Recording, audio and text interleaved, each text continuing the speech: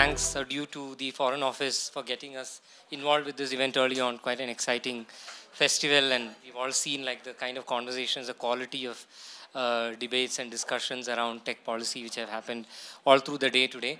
Uh, so this one is on big data, and I'm Anand Padmanabhan. I'm a fellow with the Center for Policy Research. I look at technology and society issues ranging from data protection to digital economy to OTT regulations to uh, emerging technologies, artificial intelligence, and big data.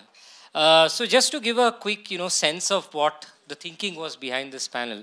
Uh, as someone, uh, I'm a lawyer by training, and, sort of been looking at the whole space of data regulations for a while.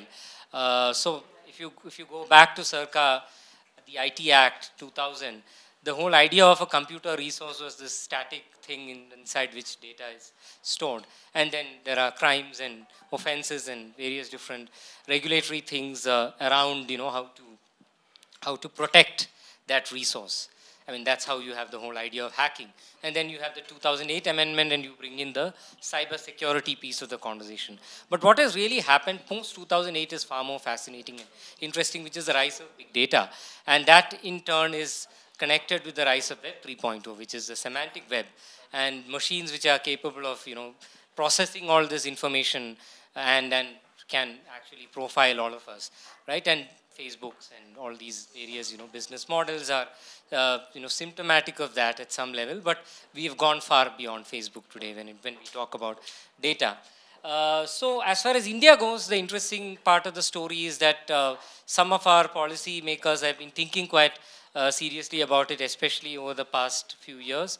Uh, Niti Aayog came out with this uh, strategy document a little while ago, uh, thinking about the possibilities of artificial intelligence in various kinds of use cases, ranging from mobility to smart infrastructure to education, healthcare, and so on.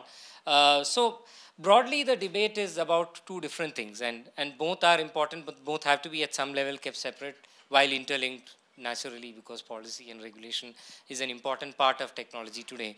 Uh, but the two different components are uh, the proactive vision around, around technology and how, how India is looking at artificial intelligence as part of a you know, emerging tech you know, leadership position that we can take. And the second aspect of it is how do we treat core values like privacy, uh, equality, and so on when it comes to uh, these new technologies. And uh, at the heart of all this is data, right? And big data because you, you need huge volumes to propel emerging tech. Uh, so with that, uh, let me introduce the panelists for today. Uh, we have Dr. Avik Sarkar from Niti Aayog. Avik. We have uh, Prerna Mukharia from Outline India. I guess after coffee, nobody's, I don't know, this is a very strange effect. Post coffee, you're meant to applaud a big round of applause for our panelists. You know, I mean, you should have seen the energy outside, you know, when the earlier panel was going on. These guys were so animated. So you have to get it out of them now. the only way is to applaud. Keep applauding. Uh, we have Bishaka from IBM. And we have Berges from ShareChat.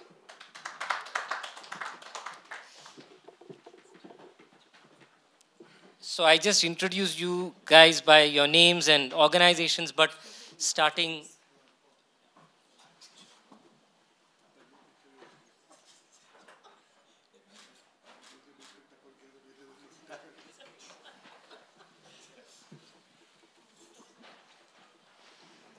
So I, will request each of you to give a one minute, you know, quick roundup of what you do in your respective organizations because I just mentioned the name of the organization and left it at that.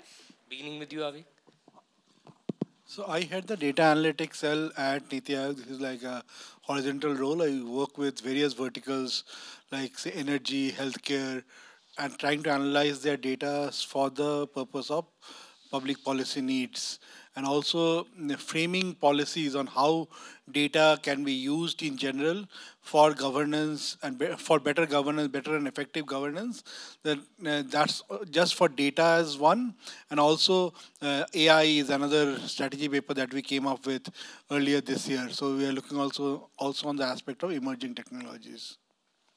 Prerna. Hi everybody, uh, I'm Prerna and I run a for-profit social enterprise that's called Outline India.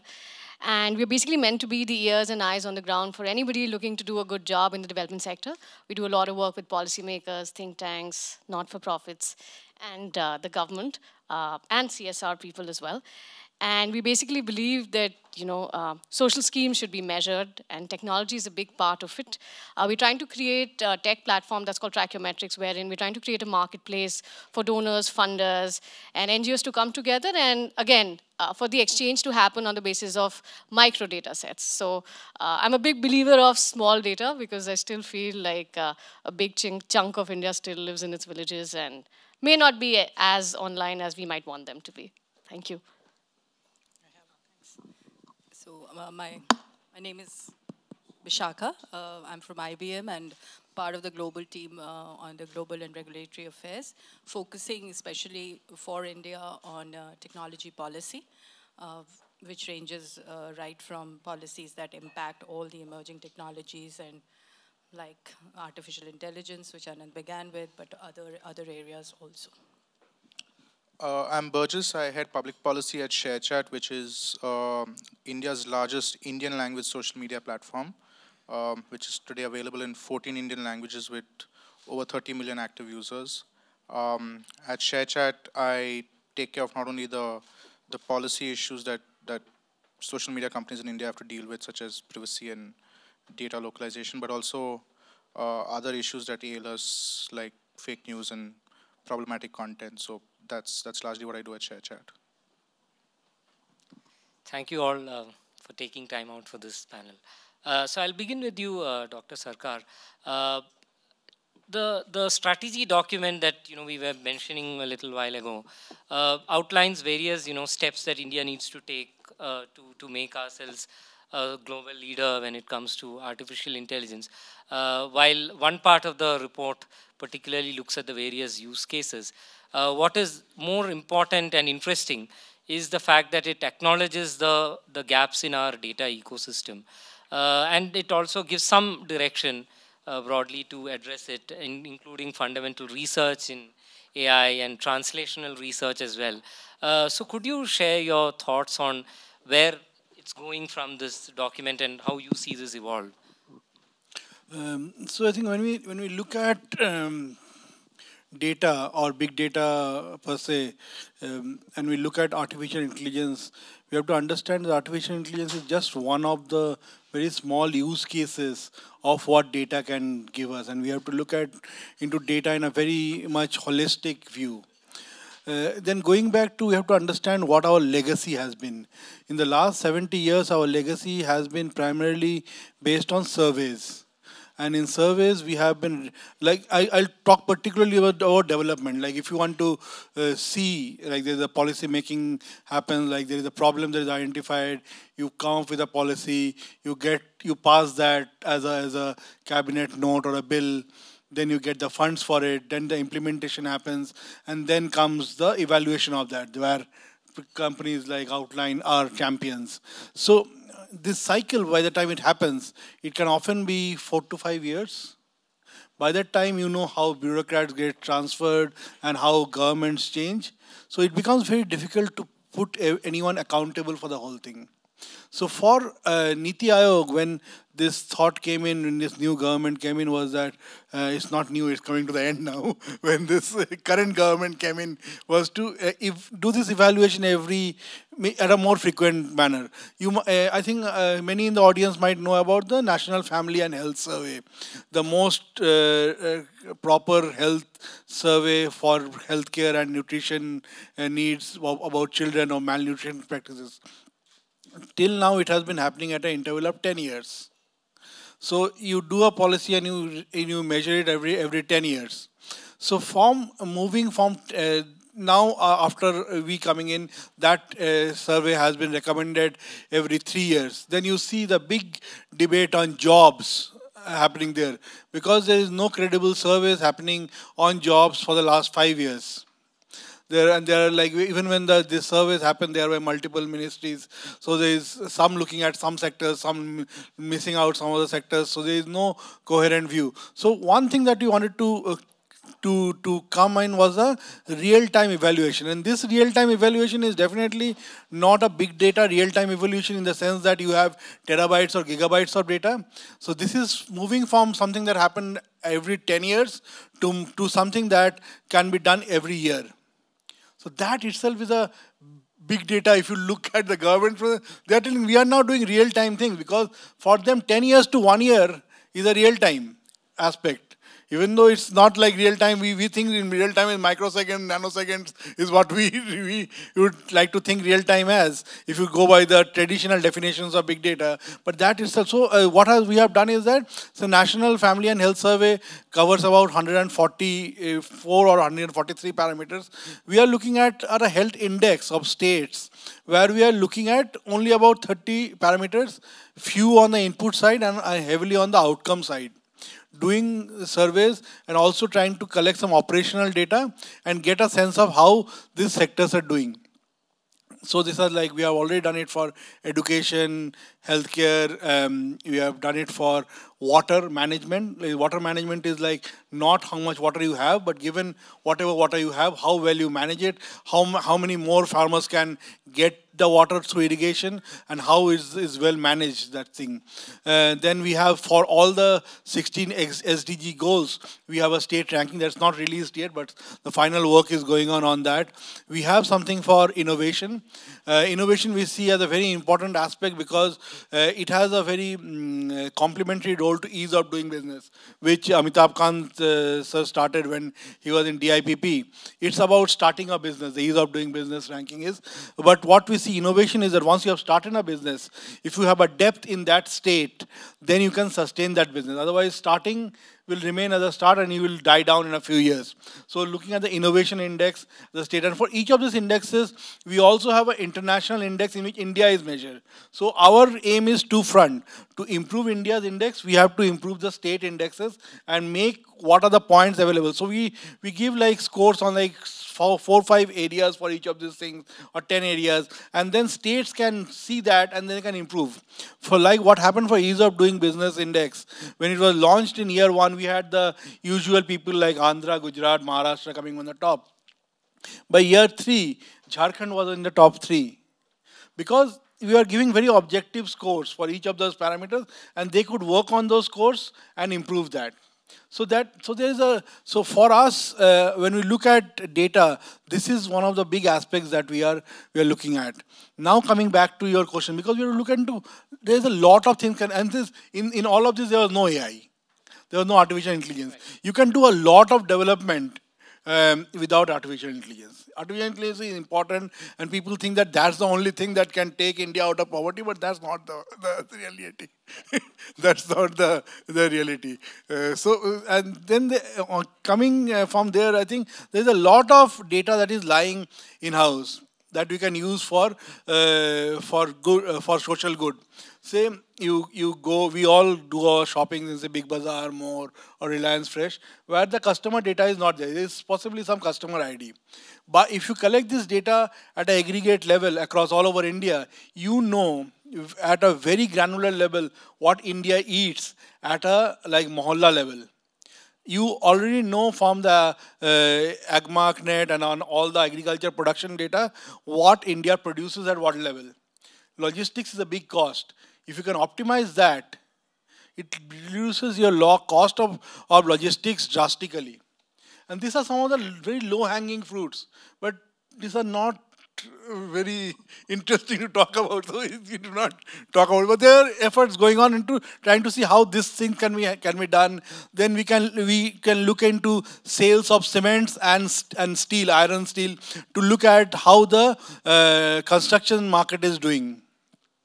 So there are a lot of low-hanging data which is uh, which is available. Uh, there are a lot of studies where you can say, like if I uh, talk about the wealth index, another uh, different thing. Uh, wealth index is something that gets measured only during the census. What happens? Uh, which area has how much people on the wealth side?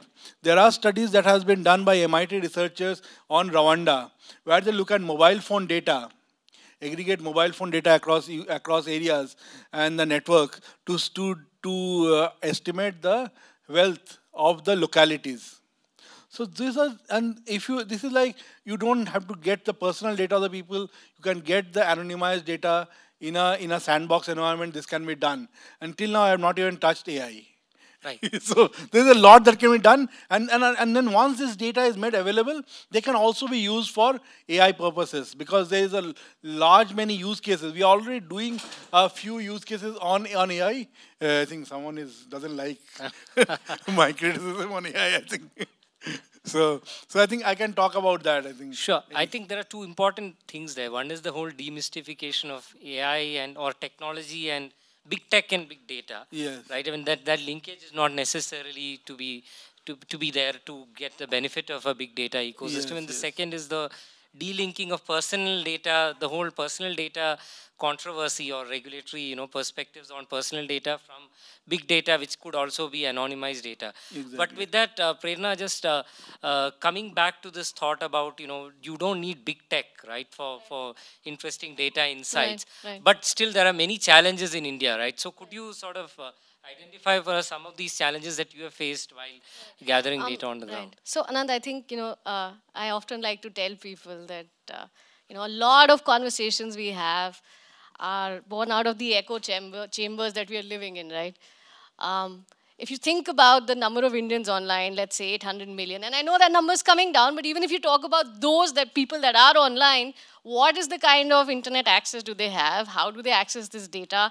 It's usually the male lead in a lot of households who gets access to WhatsApp and Facebook. And what is the kind of information that's being transacted? Is it news? Is it information to do with their farms, work related? No, not so much, right? So, I mean, there's a lot of limitations that I think we in these fancy conferences fail to discuss. And I think a lot of India's needs reside in its small data sets, right? And even when we talk about a lot of government surveys that are done, I don't think we can call a lot of them big data sets. They are not, right? These are matrices of, let's say, 1,000, 2,000, 5,000 into a couple of lakh people, right?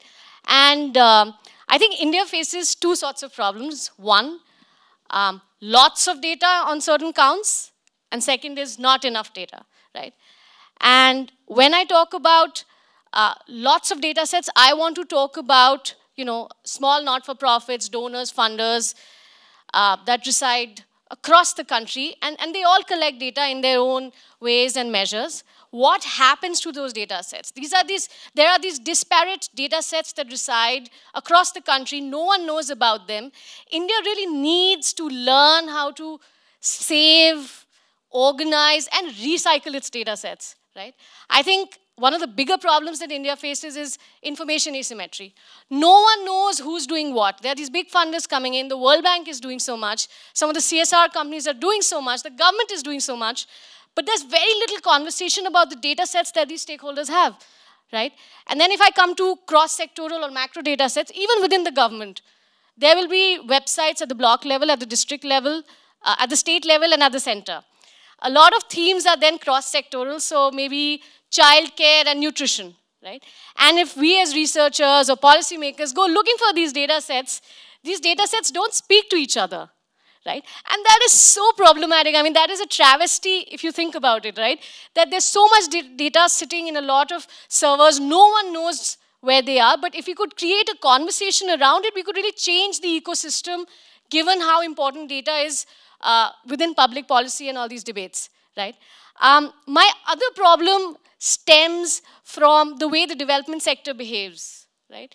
Uh, there's lack of accountability, there's lack of a marketplace, unlike the corporate space which competes on the basis of big data sets and selling and marketplaces.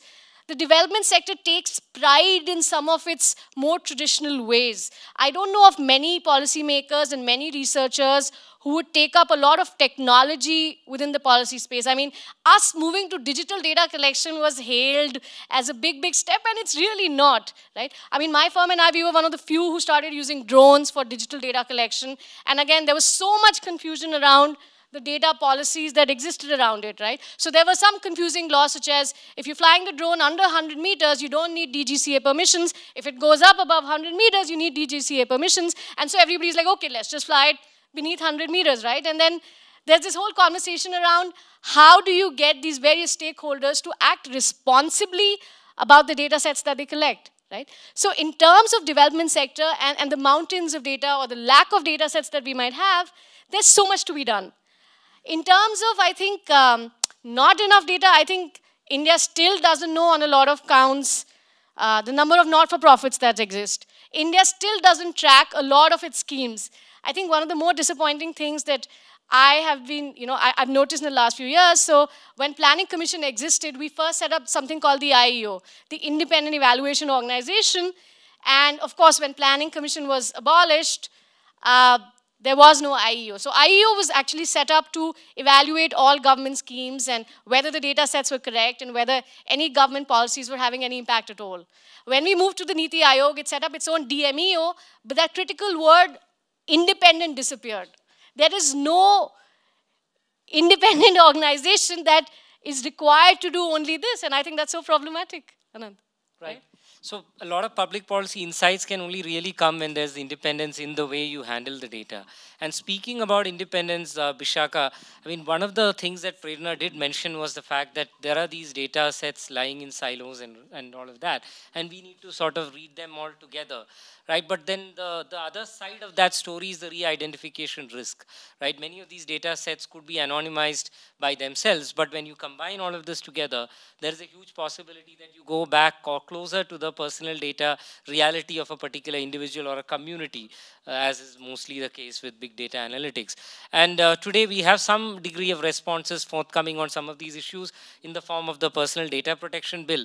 Uh, so what we are seeing today is a uh, conversation in India about a regulatory uh, you know, response to personal data and which is built around some of these fears.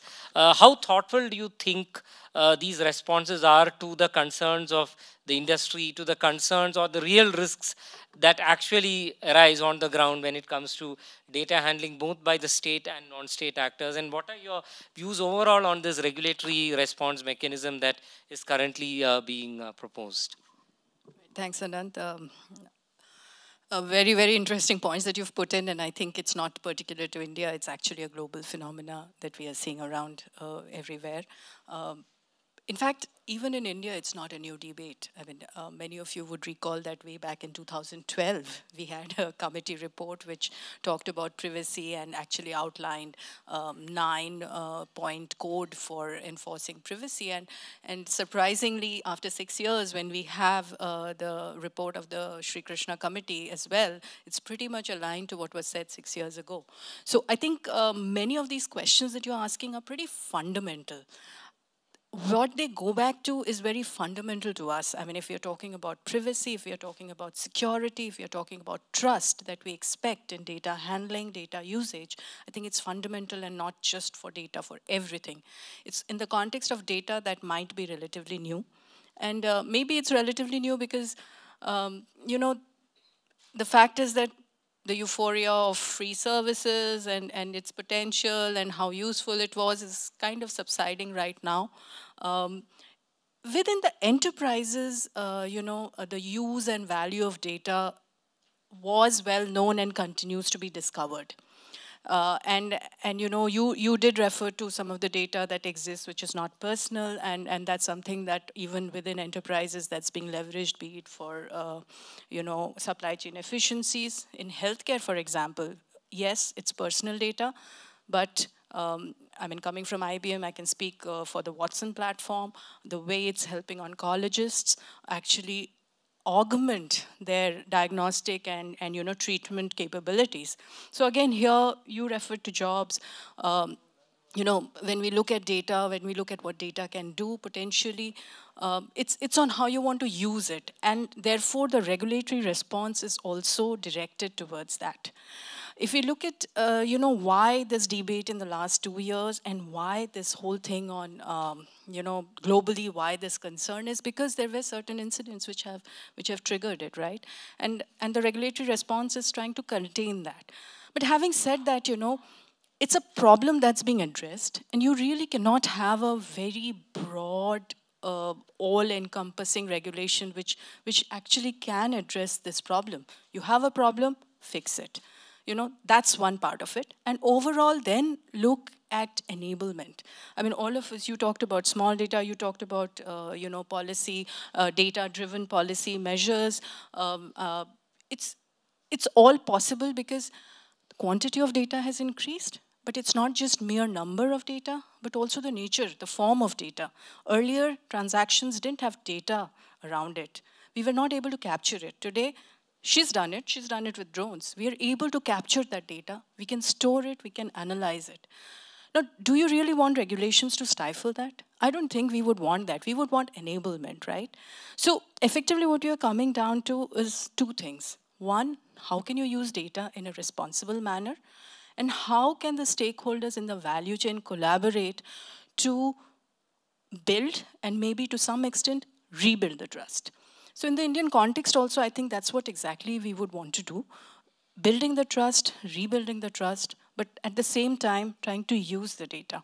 I mean, I think it's important for all of us to know that countries who have traditionally been rich with natural resource may not have been the most prosperous nations. Because what happens is, it's not about resource being available, but with what you do with it. Something that you referred to, you referred to as well. And I think that's true for India as well just by having data or collecting data is not going to lead us to any place. We have to figure out how do we use it? How do we use it in a responsible manner? You know, companies like ours, IBM, 100 years old, traditionally been custodian of data for all our clients. Uh, these are questions that have been debated for, for a few years, even before it, you know, became trending like it is today. And, and we, we have, as we, you know, get into the system, we have we have uh, principles around which uh, we design products. Security by design, privacy by design are something that GDPR put on the plate for everybody, but these are things that are inherent and have to be inherent accountability by design, privacy by design, security by design. And I think these, this is not just restricted to regulatory response, it has to be a response which comes from the value chain, from the technologists, from the regulators, as well as the users. I think the users also have a responsibility. Thanks, Bishak. I especially appreciate the candor with uh, which you uh, you know, pointed out that uh, having a resource is very different from unlocking its value. And this has happened in the past with India's biodiversity scenario too. I mean, the Biodiversity Act had all these laudable objectives, but finally, if you look at how much we've really experimented or researched and understood our biodiversity and ecosystem around that, it's very little. Uh, and, and I think a similar you know situation could arise with data and, and that takes me finally to you Berges and uh, interestingly because in many cases today the villain of the piece seems to be social media. I mean you can talk about all the great benefits of big data and then you say but social media, you know, I mean, there is uh, Cambridge Analytica, there is all this stuff happening there. I mean, and you could see that even play out with the tech industry, right, where Apple and Microsoft today are, are taking a stance which is uh, sort of uh, saying that we guys are separate from, or we are the old tech, or we are separate from the Facebooks and the others, you know, who are doing phenomenal amount of other unspeakable things with uh, data of individuals.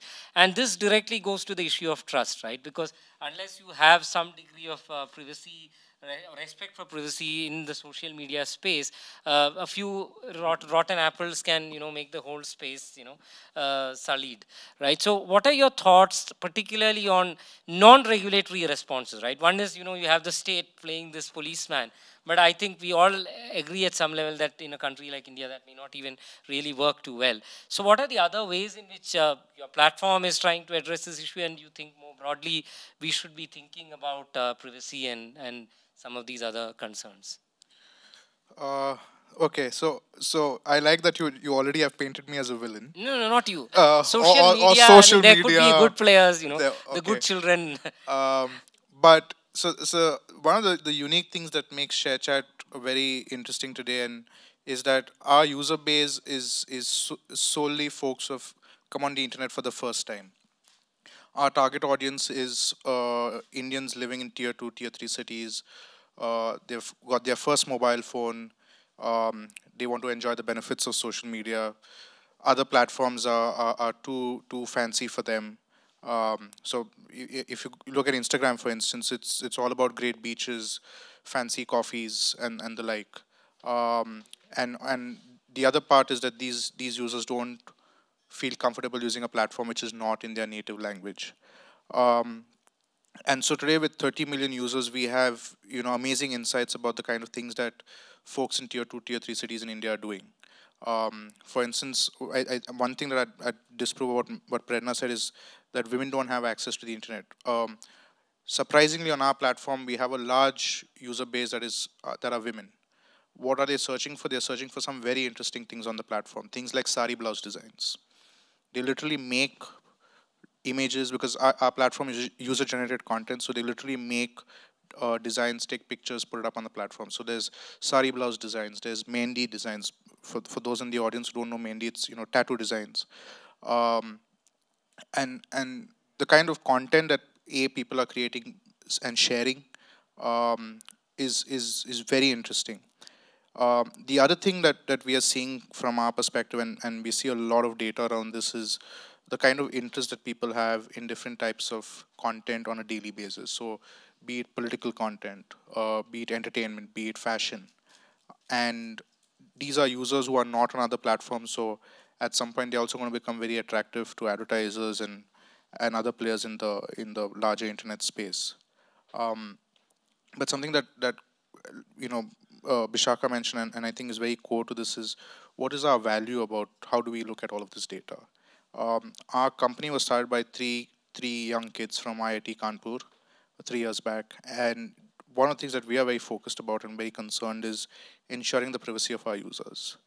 Um, our users do not give the, give their email ID to us. One reason being that most Indians who have come online on their mobile phone don't have an email ID. Um, they, the very nature of how Android works is that they buy the mobile phone, the store owner, you know, puts in a common email ID, and that's it. Unlike an iPhone, you don't need to keep putting in a password every time you download an app. So their identity is their mobile phone number.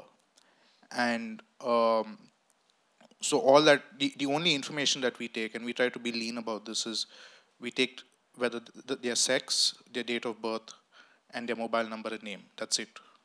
Um, unlike other platforms which will, you know, ask where do you work, what do you do, you know, are you straight, not straight, are you interested in this? Are you not interested in that? We don't we currently don't do that and and we plan not to take too much information of the user. So we try to be lean when it comes to taking data from the user the other thing is that we are very concerned and, and we've seen other platforms um, you know become villains um, with, with Cambridge Analytica and all of that and so we are very concerned that we don't want to be that player we want to be an Indian platform for Indians where Indians feel safe and comfortable using it. That said, um, I think the question that, that we always have is how many people have actually left, even in this audience for that matter, how many people have left Facebook because of their privacy issues? Anyone who has left Facebook uh, because of their privacy issue, not for anything else? Not because you don't like Facebook. Not because you don't like Facebook. Or because Instagram took over your attention. Uh, and do you use any of Facebook's other platforms? Do you use Instagram or WhatsApp?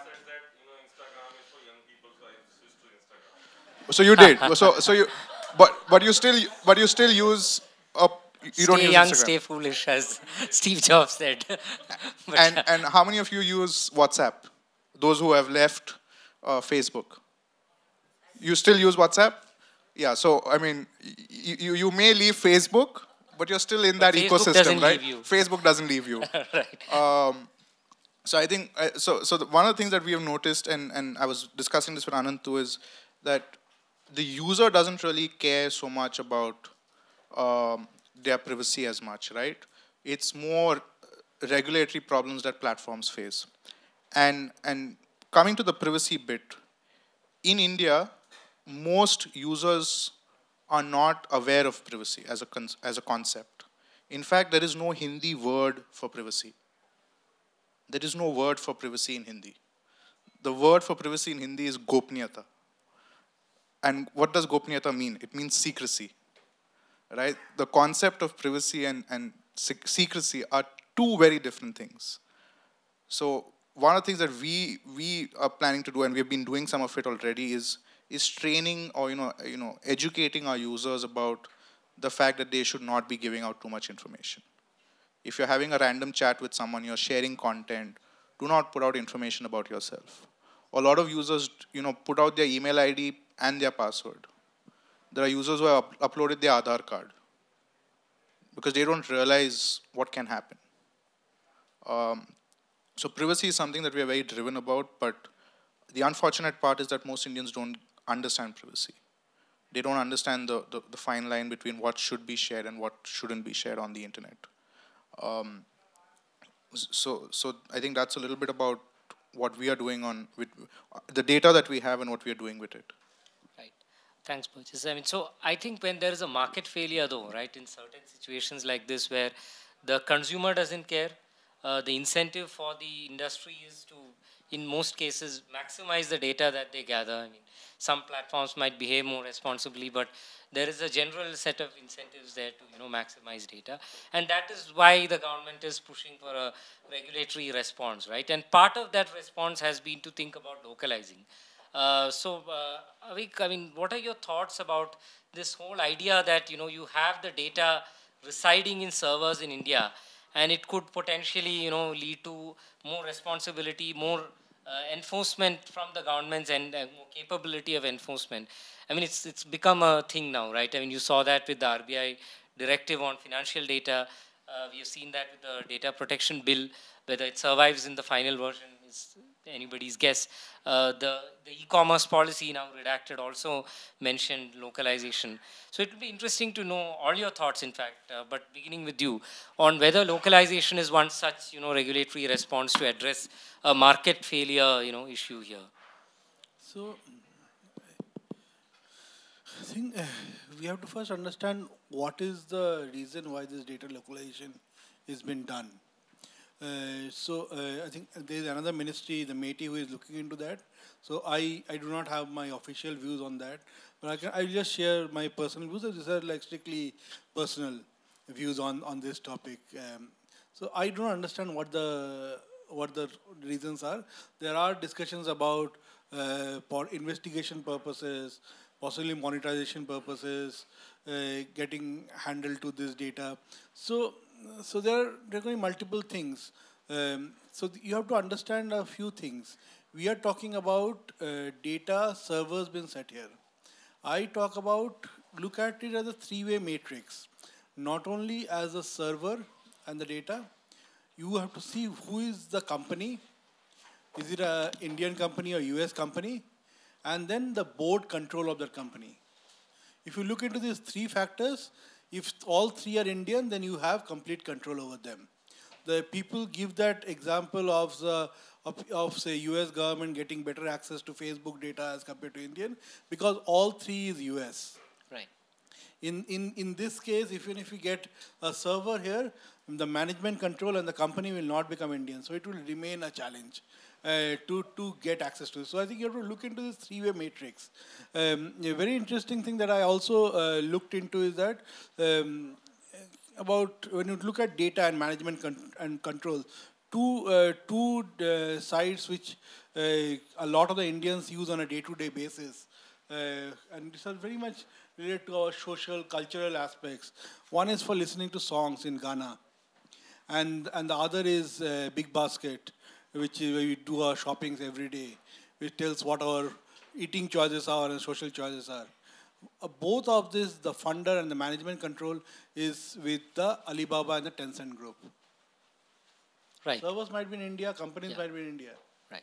So, so, so they will dictate, as according to me, personal views, they right. will dictate what they want out of this data.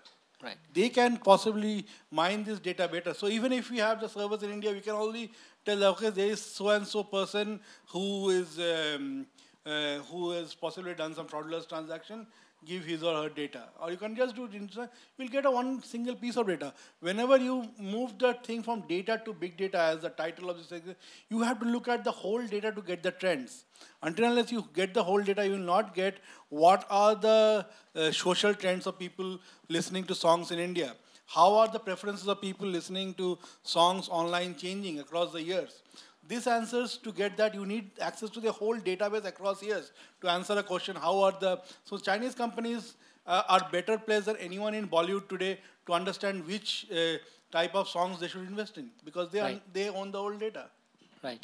Vishaka, as a follow-up to that, uh, I mean, the, the fact about Chinese companies is interesting because it's one of the underlying rationales, other than access for the government, is the fact that China has built this wonderful domestic, you know, ecosystem, uh, AI-powered and all of that, and uh, India needs to go the same way. And one way to achieve that could be, you know, having the data located here.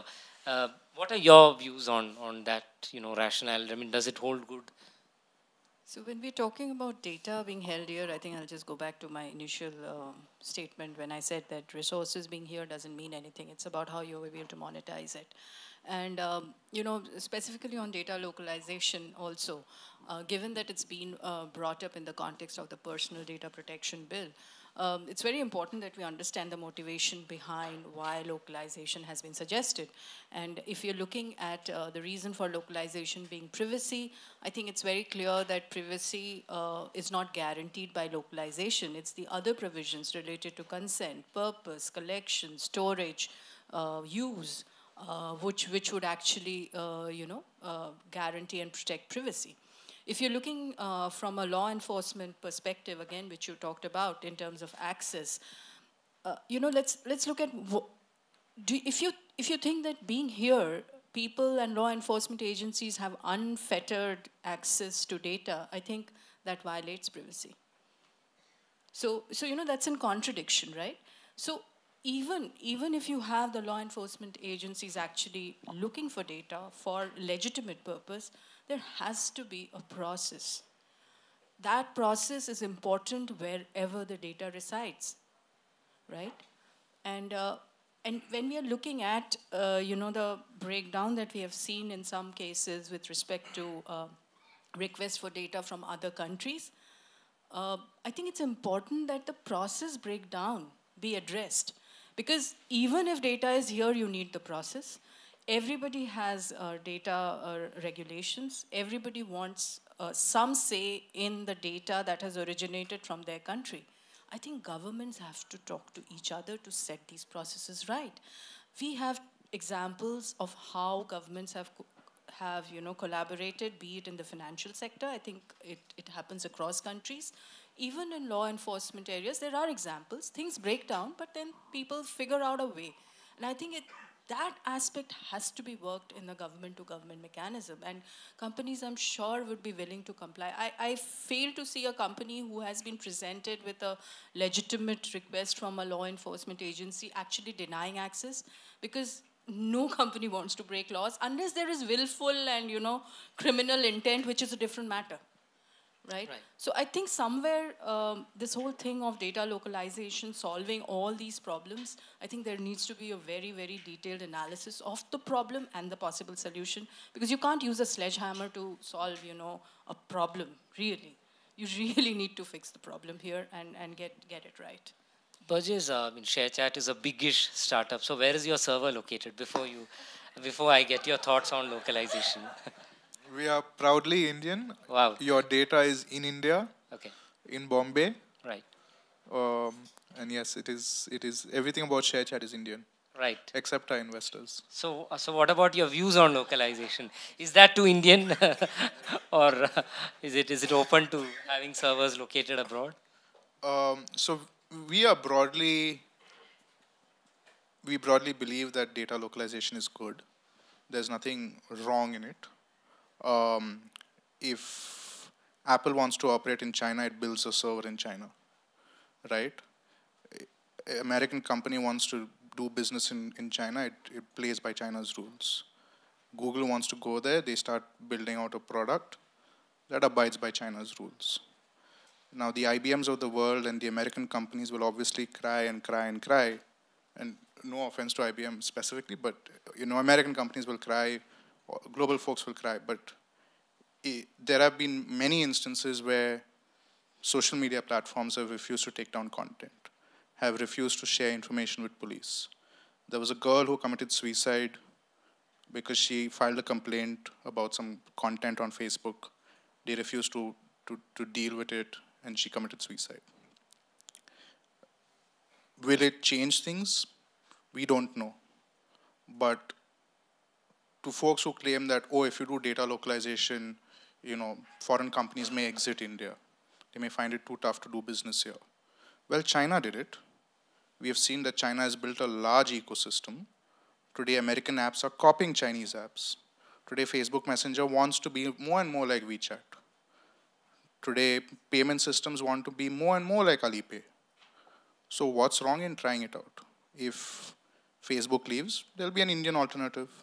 Some other tech company leaves, we'll, we'll build it up. If it's, it's not going to be the end of the world.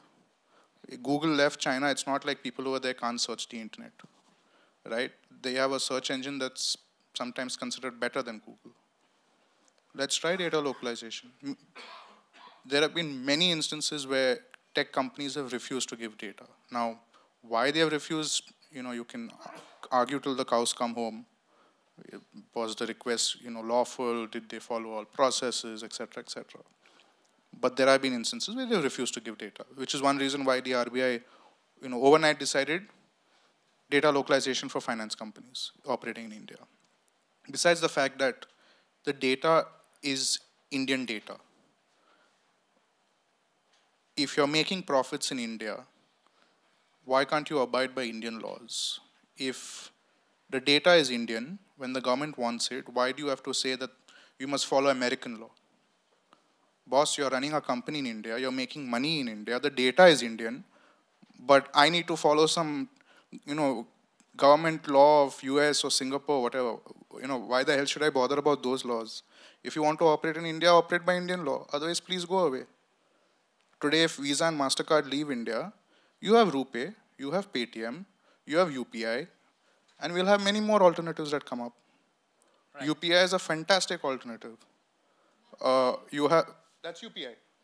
Right. Uh, you have, and which is why you then have Mastercard going back in the U.S. You know, complaining to U.S. Trade Department or whatever. You know, crying that oh look, India's you know Modi is saying RuPay is better. Yes, RuPay is better. People want to use RuPay.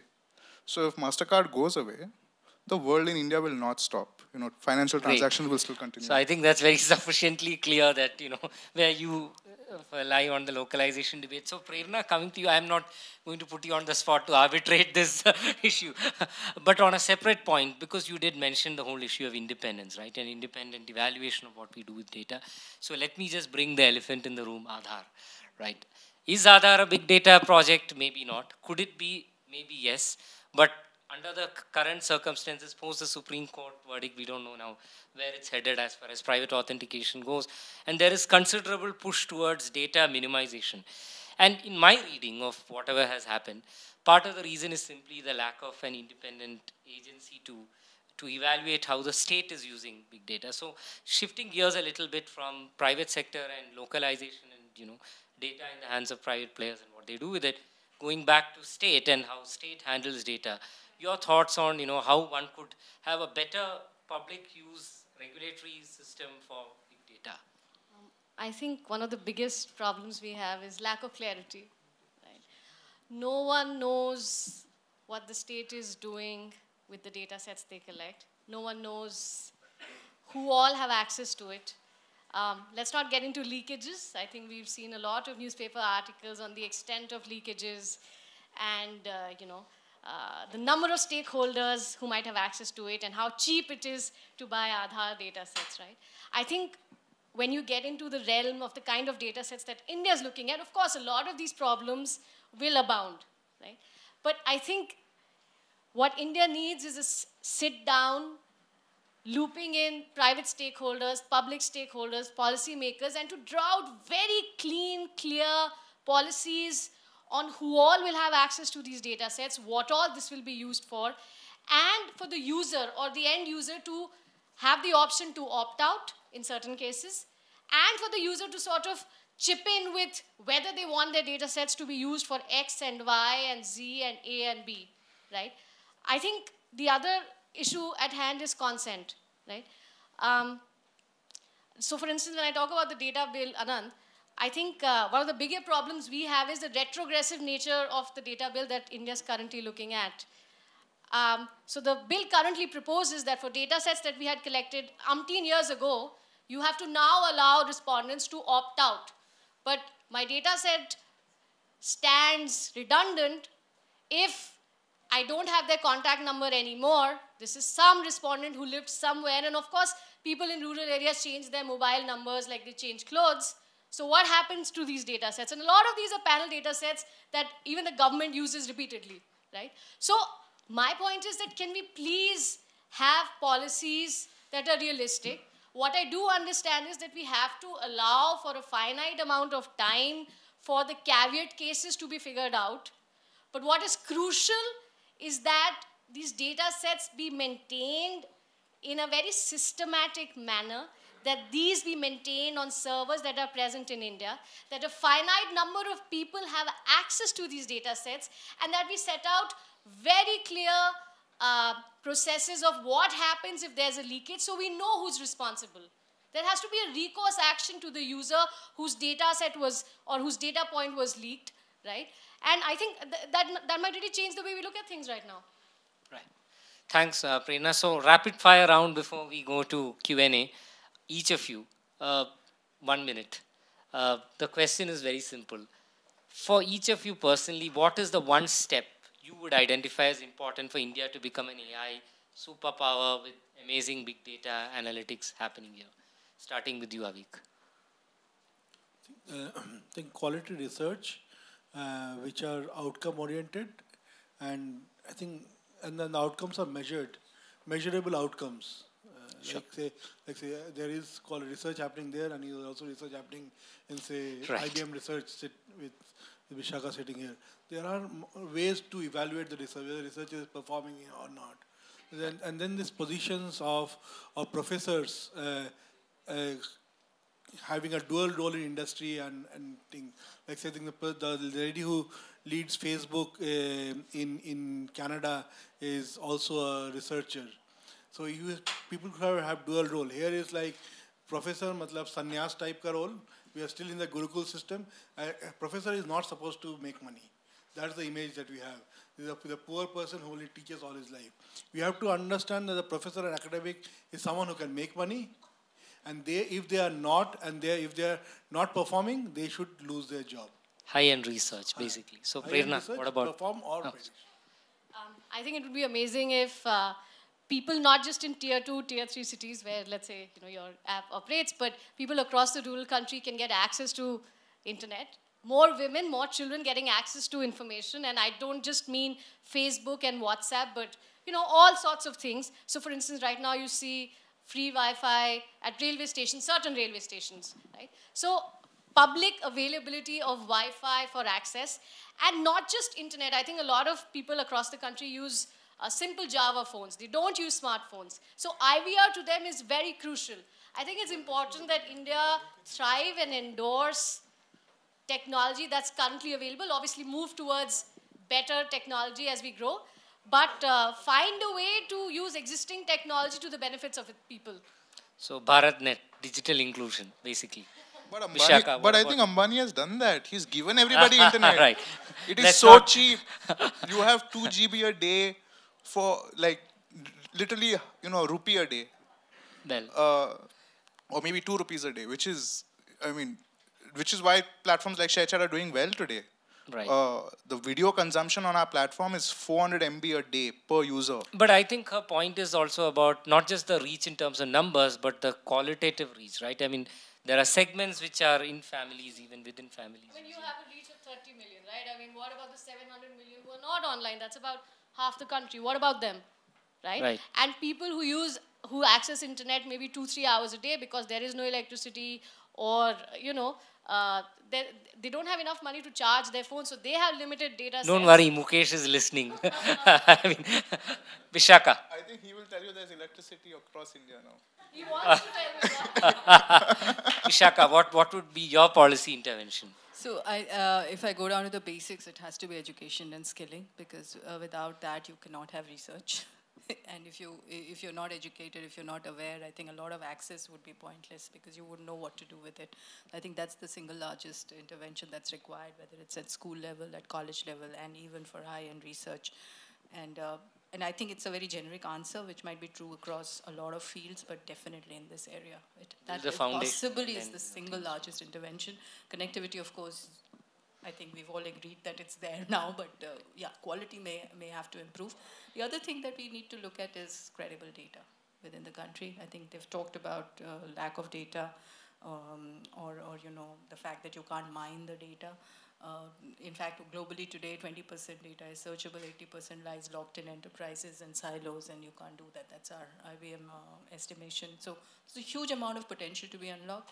So I think credible data uh, is one part, uh, and of course, education and skilling. Berges? Uh, I'd, I'd broadly agree. Education, uh, you know, even even folks who have internet today, for instance, right? Um, a lot of them are uneducated. A lot of them don't know how to type don't know a language. Um, so even if you have internet, you have a device, you don't have education, how do you use the internet?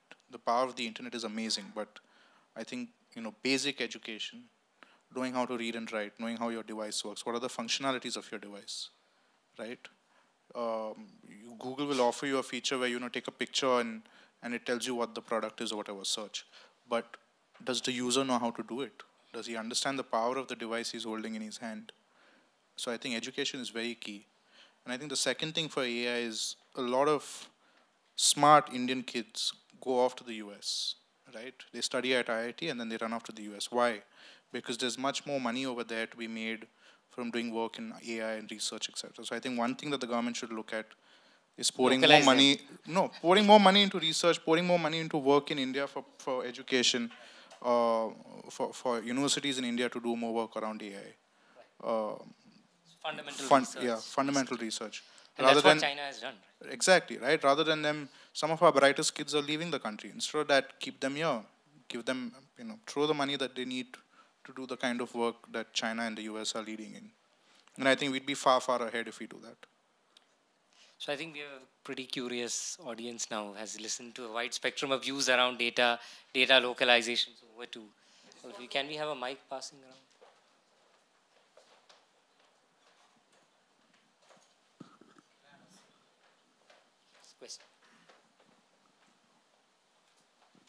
Could you please introduce yourself? Yeah, my, my name is Nishchal. I am a lawyer. I work with technology laws and blockchain and other things. So I will not touch blockchains and privacy, right? Uh, I have a question from you, like you talking about localization and everything. Right? We already have law, which does not, as legally I'm talking about legal, legally we already have a law which does not allow any company to move the data outside India. Although it's not enforceable. There's something called SDPI rules. So there is the rule 7 which clearly says that. So I have a question with you. For example, your company, you're not charging them anything. You're taking a data from the user and you're taking one of the data which falls under SDPI, the mobile number. So what, as a company, I wanted to understand because this this debate is also on the other side that if I don't want to give the permission, as she said, opt in and opt out, which is not even nearby. Like we don't have policy for cookie, we don't have policy for opt in and opt out. So it's like kind of a, when I sign up to your, your application or website, so it's like a forcible, like I can't use your service. If I don't sign up, I don't agree what you're saying on the very first login page. I cannot use your service. So, so it's kind of you're forcing me.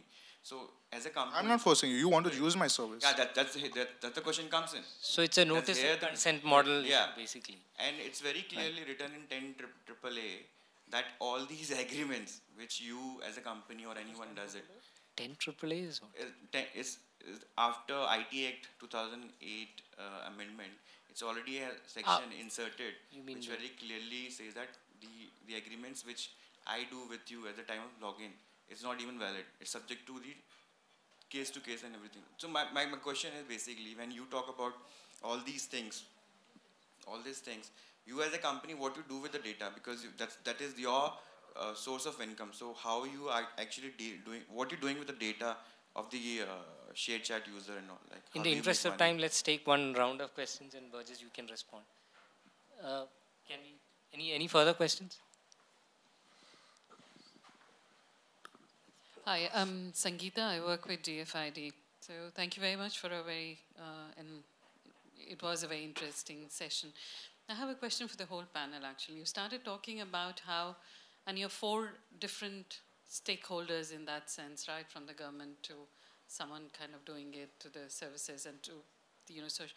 But in at the end of the day, you started with something that this ecosystem is actually not talking to each other. And what I'd like to know from all of you, uh, and it could be one bullet point each, is how do we get the ecosystem to start talking, so that all our decisions are kind of, you know, informed, our policy is informed, we are aware of the fact that everybody is a part in that policy making, we're reaching out to them. Our systems and the social media is actually facilitating all that. So any further questions? Hi, this is Sugandha this side again from DFID. Uh, my question again is from the panel only. So uh, I myself is from IT and uh, have been working on big data and AI as a personal interest. But somewhere I get stuck is why are we actually talking so much about AI, big data? And I see that the trend is when something happens in US and Europe, then Indians start realizing, okay, this is something that we can start working on. Why can't we actually have something original from within India, like maybe uh, like we are now talking uh, about new innovations uh, on the platforms of AI, machine learning, big data, etc. But why can't we actually talk about something which can be an example for the whole world? For example, doing something with the climate change. I mean, it's a big issue here in India. So, and again, second question is why why do we need so many social networking sites when there are so many other issues uh, for daily issues where citizens are which citizens are facing? Do we really need so many applications of those kind?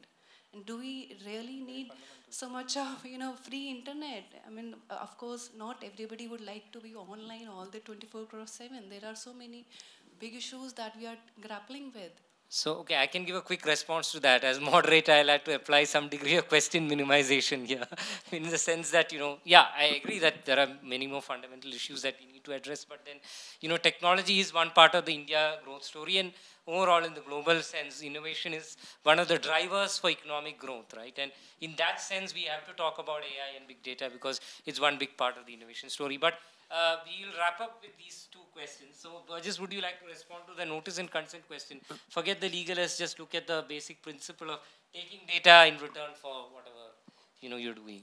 So, to answer your basic question, what do we do with the mobile phone number? We do not share it. That's one.